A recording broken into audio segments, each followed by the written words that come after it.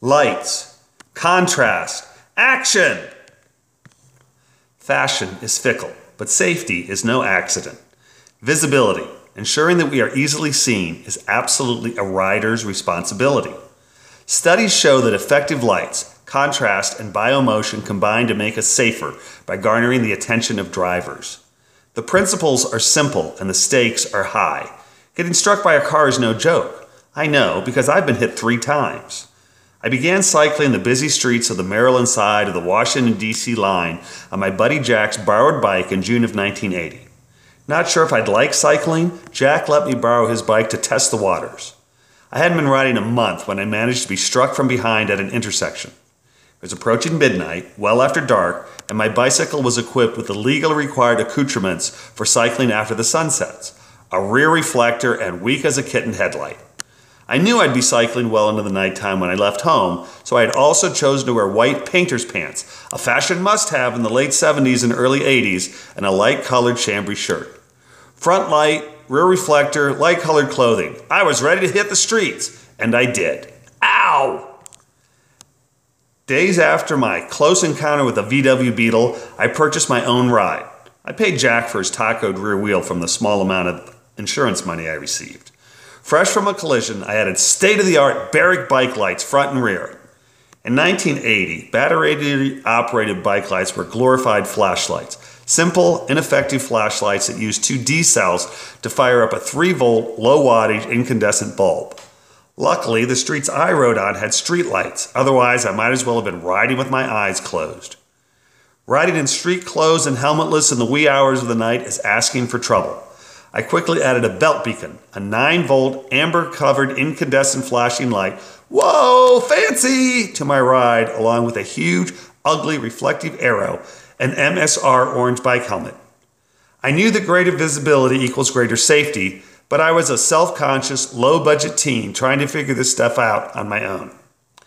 Fast forward 40 years, and the good news is that the guesswork about visibility has been removed.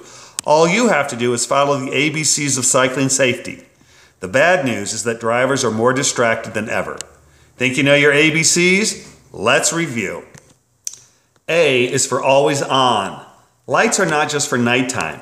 At least one leg of my daily commute is in full sunshine, yet I have my Bontrager Ion 800 headlight flashing to a syncopated, eye catching, seizure inducing beat under the brightest as well as lowest amount of ambient light. Why? So people notice me. My light is visible from over a mile away, and I cannot count the number of times drivers have waited for me because they've seen me. And power matters. Don't think some low level 2018 version of my 1980 Barrick head or taillight is going to catch the eye of distracted drivers.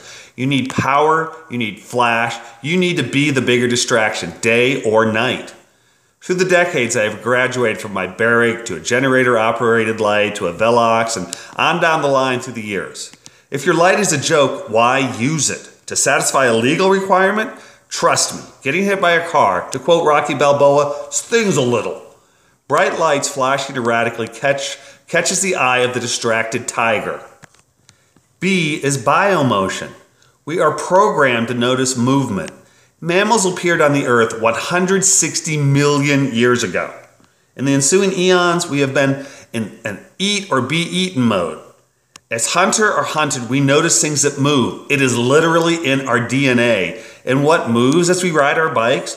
Our feet, our knees, our lower legs.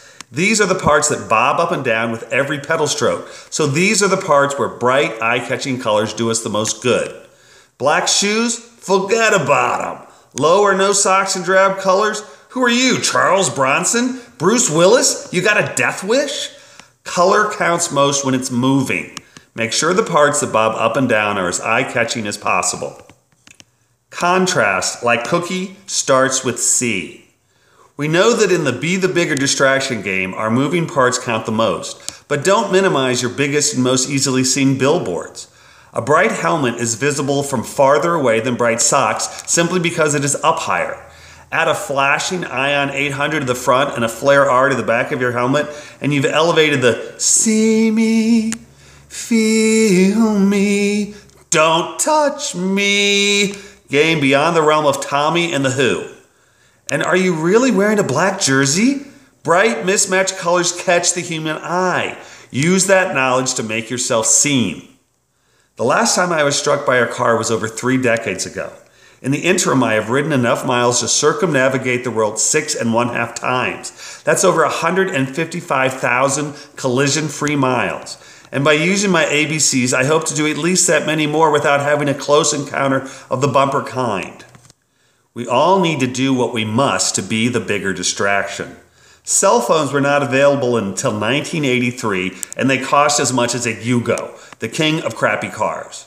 It was nearly the 21st century before DVD players started distracting drivers from SIPDE, searching, identifying, predicting, deciding, and executing a course of action in our driving.